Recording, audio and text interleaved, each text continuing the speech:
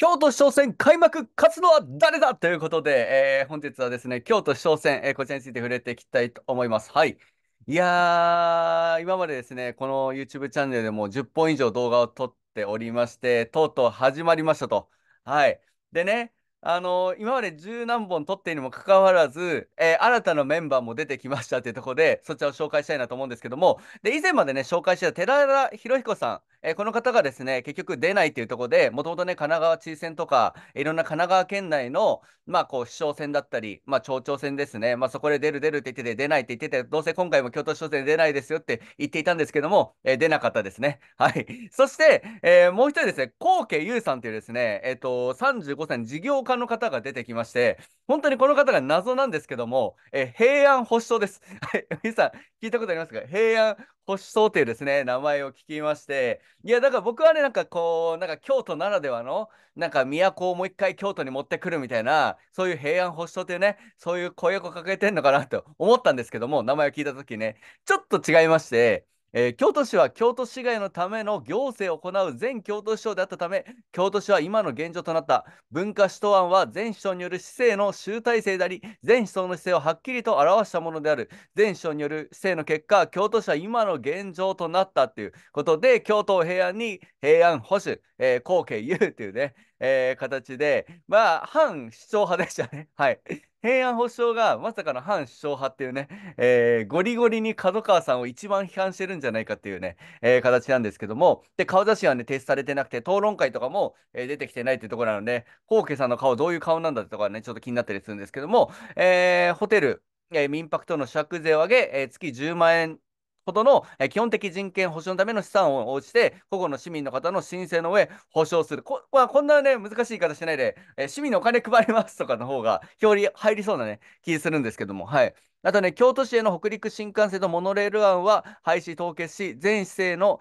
えー、町の再開発案を撤回、景観、えー、規制のを強化し、えー、もしくは維持するというですね、で文化省案を廃止するとか、えー、京都市の安全の復興のため、法を実際に執り行い、町の治安を改革させ、京都市の平安を復興するということで、あのまさかのですね、平安保守党は、あの、京都に関する政策しか掲げてないです。あの、北陸新幹線だったりとか、この宿泊税、オーバーツリズムのね、えー、こう部分、この宿泊税、こう観光に対する内容だったり、えー、文化思想案というですね、まあそこの政策だったりとか、意外にね、この京都市長選で、ちょっと焦点になってる内容を、えー、がっつり公約に入れてきてるってとこはね、まあ、ちょっと気になったりしたんですけども、で、まあ、今回このコウさんに関しては、まあ、初犯みたいな形でね、扱われていて、まあ、それ以外の4人が、まあ、本当ね、主要候補みたいな形で、えー、討論会とかでもかなり話題になっておりますと。で、えー、1人目が、えっ、と、松井浩二さんですね。はい。もうずっとね、えー、取り上げておりまして、でね、ここ一番下に、新しい市長には松井浩一さんをよろしくお願いしますというふうに書いてあるんですけども、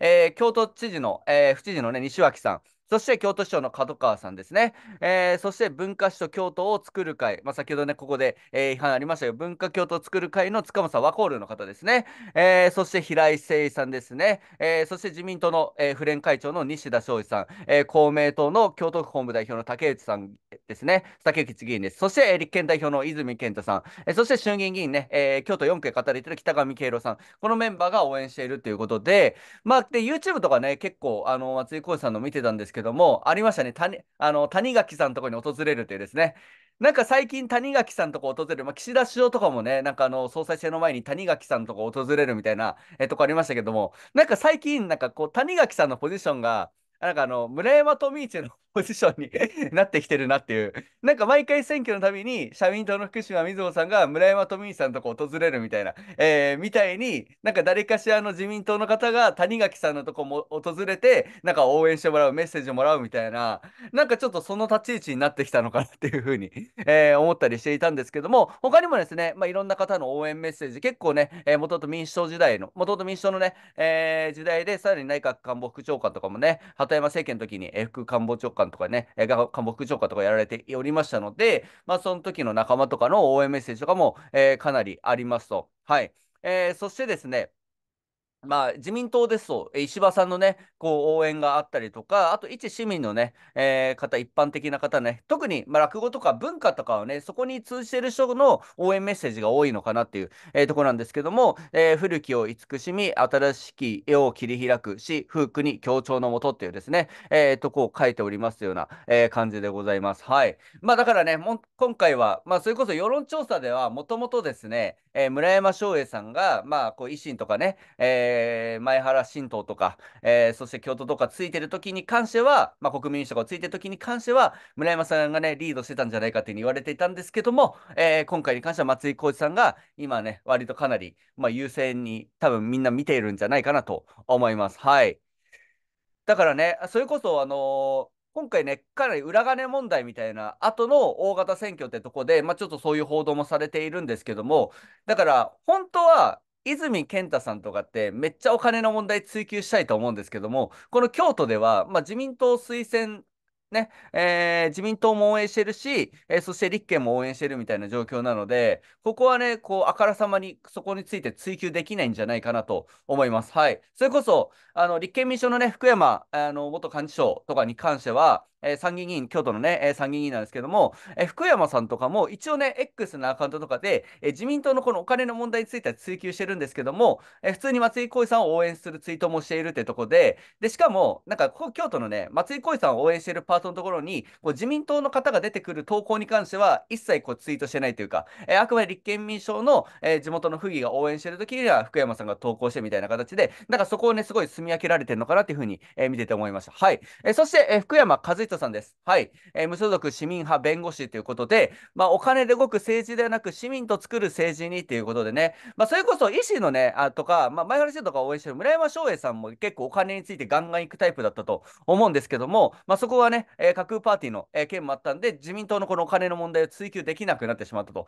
えー、そこでもう唯一、えー、お金の問題をガンガンに攻めているのは、この福山、えー、和人さんかなという、えー、形ですね。で、今回、無所属、前回ね、まあ、共産党って令和新選組の名前がね、ちょっと応援って入るぐらいの、えー、感じではあったんですけども、今回そこはね、応援をもらってるけど、えー、支持とかではなく、こう、薄めているというような、えー、形ですね。ただ、えっと、福山和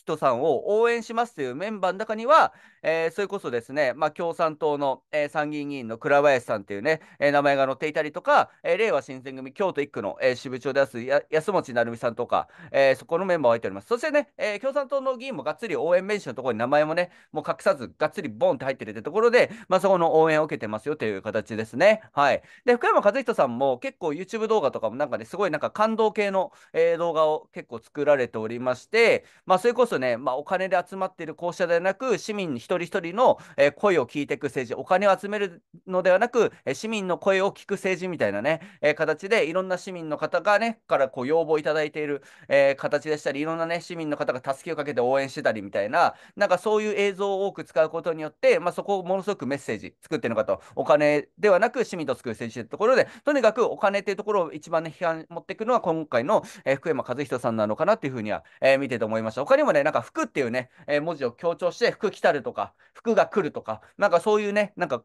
プラカードみたいなの作ったりとかして、服着たるみたいなところをかなりね、なんかちょっと、えー、強調してるのかなっていうところはありましたね。はい。まあ、そんな感じの、えー、選挙かなと思います。はい。そして、村山翔英さんですね。はい。だ本当はね、えー、かなりリードしていたかもしれなかった。えー、選挙だったんですけども、えー、45歳2児の父でね、もともと、え、維新、そして、えー、地域政党、京都党、えー、教育無償化実現する会、前原新党ですね、そして国民民主党、えー、こちら4つのメンバーのね、推薦がちょっと架空パーティー疑惑で、えー、失ってしまったと、推薦を失ってしまって、出るのかなと思ってたら、最終的に出たということですね。で、村山翔英さんのちょっと動画ね、見たんですけど、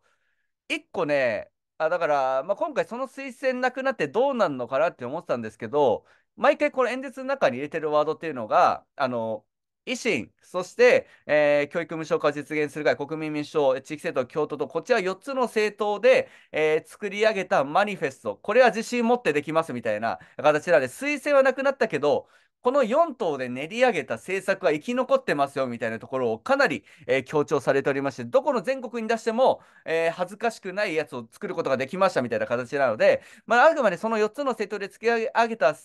えー政策は、えー実行するために最後まで戦いますみたいな、ちょっと雰囲気のこういう演説などをされていて、そこで、もともとね、えー支持を受けていた、まあ、そこの政党の、あの、支援を、まあ、そこをかなりね、取り込みたいのかなっていうふうには、えー見てて思いました。最初ね、未だにこう、なんかあの、謝罪会見があったのね、その後の決起集会見た時には謝罪もしましたけども、それ以外の場面でも、まずね、こう演説会場、出陣式とかでもね、こう謝罪から始まったりとか、なんか、えー選挙期間中の、えー集会の場でも謝罪から始まって、そこから政策をバーって喋るみたいな形なんで、だから村山翔英さんって、ね、あんまこう隙がないというか、もうガンガン攻め込むっていうね、こうイメージタイプだったと思うんですけども、なんかね、やっぱり最初謝罪から入ることによって、ちょっと哀愁が出てるというか、はい。なんかその人間味みたいなところが、まあ今結構出てるのかなというふうに思います。で、最初謝罪から入ってちょっと暗い雰囲気になった後に、ひたすら制作を喋り続けるという、もうめちゃくちゃ制作好きなんだなっていうのはね、あの、すごい伝わってきたんですけども、